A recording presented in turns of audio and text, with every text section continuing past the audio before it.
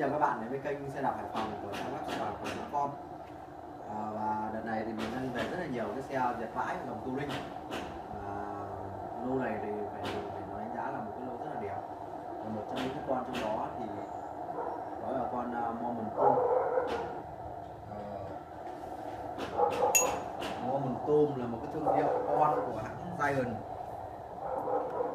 Rất là phổ biến uh, được sử dụng tại Nhật Bản xe là dòng ờ, bánh 700C nên là có cho cái tem là thai, size, tức là cỡ của lốp là 700 như các bạn thấy thì tem ờ, từ ngày bán là xe này là đết ờ, năm 2015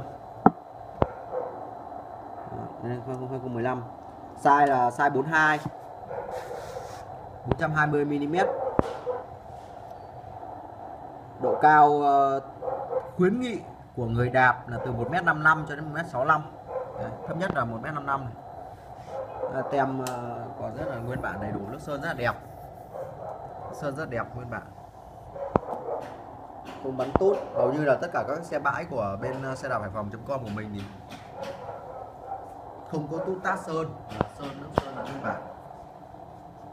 Đấy, vành uh, vành của chiếc xe Momentum này thì là vành 700C hai lớp đũa thép mạ đen vành nhôm hai lớp.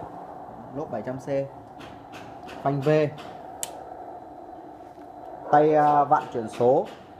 3 nhân với 7 tốc độ cho xe có 21 tốc độ khác nhau. Xe còn à, chiếc chuông ở bên này. Chuông thì cũng không, không quan trọng lắm. À, cồn bát momentum à. rất là nguyên bản. Chiếc yên cũng nguyên bản luôn ở bên này hơi ờ, rách một chút nhưng mà không sao, mình muốn để nguyên bản nên là mình không bọc lại.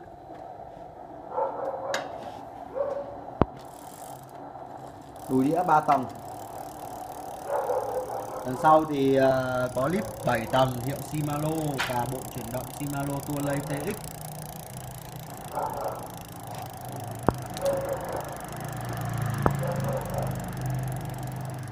xe này như khuyến nghị của nhà sản xuất thì phù hợp với các bạn cao từ trên dưới 1m6 và nam nữ đều đi được. Và giá của chiếc xe thì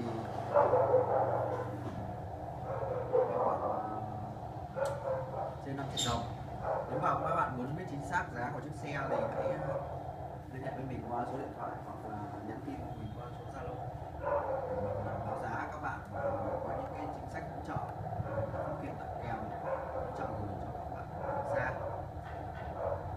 các bạn hoạt động xe thể thao cái hướng dẫn sửa chữa, sử dụng. Các bạn hãy ấn đăng ký kênh bên cạnh nút đăng ký thì có cái chiếc chuông. Thì khi mà ấn chiếc chuông, các bạn sẽ là những người đầu tiên mà được youtube ưu tiên hiển thị. Những cái video mới nhất của chúng tôi up lên youtube. Các bạn hãy ấn like video để ủng hộ chúng tôi làm video tiếp theo bởi vì chúng tôi đã tắt hoàn toàn quảng cáo trên ờ, kênh youtube của mình để không gây cái quảng cáo của youtube làm phiền các bạn trải nghiệm video cách ờ, hoàn toàn từ đầu đến cuối xin cảm ơn các bạn đã xem video và hẹn gặp lại các bạn trong video sau